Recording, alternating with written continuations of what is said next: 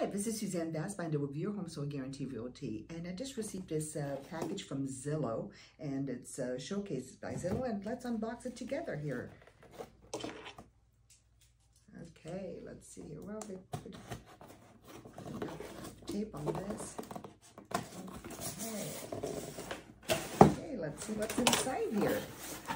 Okay, we've got, not quite sure what this is. Uh, let's see, it says that we would like to say thank you for your unwavering support. We genuinely appreciate your continued trust and loyalty as we recognize that our success is directly attributed to agents like you. We value your business and look forward to serving you with excellence now and in the future.